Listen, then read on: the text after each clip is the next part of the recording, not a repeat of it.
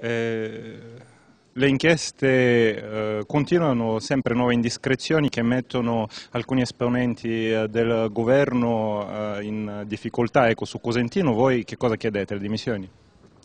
Sembra di essere la fine di un impero in cui tutto crolla e soprattutto cala il livello di rigore che ogni uomo politico deve sempre mantenere. Per questo che noi riteniamo che i sottosegretari Cagliendo e Cosentino debbano andarsene via immediatamente, debbano dimettersi e se questo non succederà noi non esiteremo a tutte le iniziative parlamentari per portare a questo risultato.